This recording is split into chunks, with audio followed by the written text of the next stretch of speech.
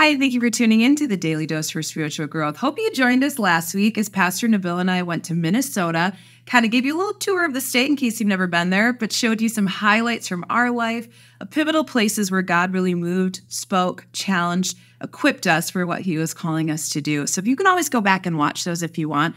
But here I am today, back in Pennsylvania, excited to be home Excited to be back at church yesterday. What an awesome time we had doing a panel discussion. If you aren't a part of Shrewsbury Assembly, you can always check that out online as well.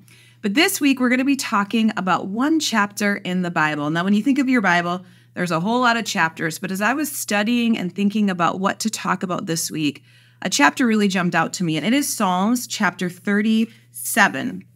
Now, Psalms chapter 37 is written by David. This is the David from the Old Testament who was a little shepherd boy who slayed a giant. This is the same David who was called out as a young child that he was going to be king. This is the same David that became king and ruled in a mighty way. This is the same David who fell to sin, committed adultery, committed murder. He lived a life, right? But one thing that is consistent throughout David's life in his high moments and in his low moments is his dedication and love for the Lord. And so when he was in the high moments, he gave God the credit. And when he was in his low moments, he repented and turned back to him. And so we can learn so much from his life, but also what we can learn from is when we read through the Psalms, several of the Psalms were written by David. And it's so interesting to see his perspective from the life that he lived and how he's learned to live for the Lord. Now, this chapter talks a lot about wicked, evil people. I want to just ask you a question, make you ponder something just for a moment. Are you a person who loves justice? Like, does it just bother you to the core when someone who cheated gets ahead? Or when someone who's just mean, who who isn't kind, who treats people disrespectfully, and yet they're in a position of power. And so people have to treat them good and have to do what they say, even though really to their core, they're not a good person. You see, these things can really irk us, these things can bother us, these things can upset us. It can lead us to worrying. It can lead us to being frustrated with God. It can lead us to jealousy and envy. It can lead us to a lot of things. But in the book of Psalms, David specifically actually talks often about evil people, about people that don't love God, that aren't honoring God, and how we sometimes can compare ourselves to them. And so this week, we're going to go through this chapter. I'm just going to read a couple verses a day. If you track with me all week, you will read through this entire chapter, but we're going to read through it slowly. There's only 40 verses.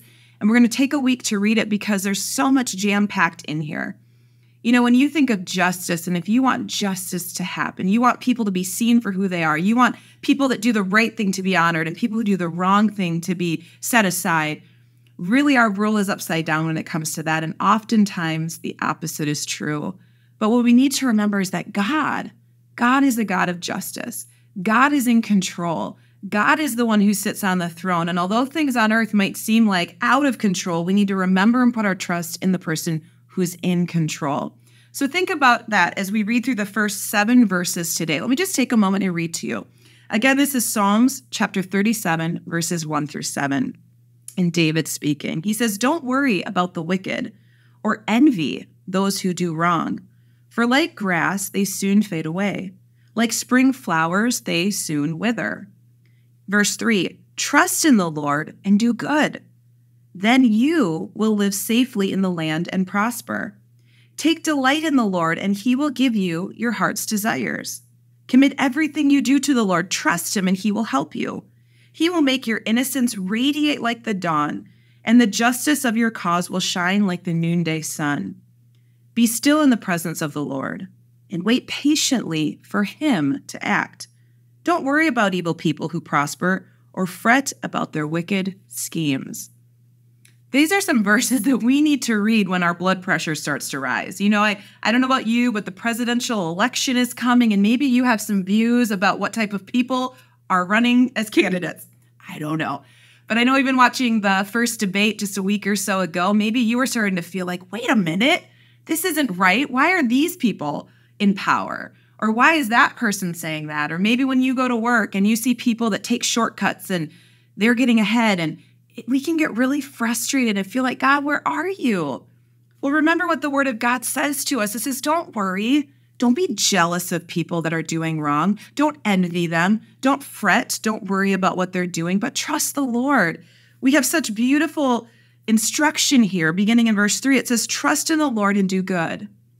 You see, sometimes we get annoyed by people that are doing the wrong thing, and we can, if we don't guard our hearts, we can begin to see that their way seems to prosper, their shortcuts, their um, lack of integrity. Well, that worked for them. So, you know what? I'm just going to, you know, subtly kind of slide into a little lack of integrity too.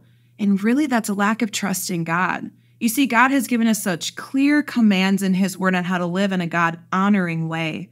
And yet, sometimes when we honor God, we don't see the fruit of our labor right away on earth. And we see shortcuts that seem to kind of bypass that waiting and trusting in God. And sometimes we take them. But those ways don't honor God. It says, when you do good, it says in verse three, then you will live safely in the land and prosper. I want to just sit for, for a minute on verse four. You know, this is a verse that's used often and I'm interested, I wish we could chat back and forth, but I'm interested in what you think this verse means. Let me read it to you. It says, Take delight in the Lord, and he will give you your heart's desires. I think sometimes that verse has been used in the context of, you know, if you if you delight in the Lord, like just pray, just ask, he'll give you everything that you want. But I want to really make a point of the fact that it says your heart's desires. You see, it doesn't say your earthly desires. It doesn't say the desires of your body. It doesn't say the pleasures of this world. It says your heart's desires. This is really talking about the things deep within your soul. And it says, how do how do we achieve that? It's by trusting in the Lord and doing good. You'll live safely in the land. Take delight in the Lord. What does it mean to take delight in the Lord? I think it's really referring to the way that you live your life. Are you living for God? Are you striving to honor God? Are you a follower of Christ? Are you a Christian who puts God first in your life? You see, it's not just saying anyone and everyone, just asking you'll get whatever you want. No, it's saying when you focus your attention, your life, your love, your devotion, your commitment to God, then as you're honoring God with your life, God will give you the desires of your heart, your soul. And what are the heart's desires and the soul desires of a person who's God honoring, who's living their life for Him? Well, deep down, it's to live for God, it's to love God, it's to serve God, it's to submit to God and to take pleasure in God that He would take pleasure in you. You see, it's not these selfish things that you might want. Well, I want a boat. I would like a boat, by the way. I want to be rich. I would like to be rich, by the way, right? All these earthly things that come and go. And oftentimes, when we see people prospering that do evil, they're achieving and attaining earthly things that as this verse is said, will wither like the grass and the spring flowers. But when we put our heart's desires and attention on the things of God, He will fulfill those requests in an eternal way, giving you His peace and His comfort, prospering you in a way that honors Him. So, as you take time maybe today to read through these verses more, to reflect on them, I challenge you to lay your heart before God and say, God, really, what are the desires of my heart? Are they God honoring? Do they align with you? Am I really trusting you even when things don't seem fair? Am I really trusting you and doing good even when it would be easy not to? Take some time to think about, to pray about that today and what God might speak to you. Would you be obedient and say yes to Him today? Hey, I want to thank you so much for tuning in today. I hope to see you again tomorrow as we continue on with Psalm 37 in another daily dose for spiritual growth.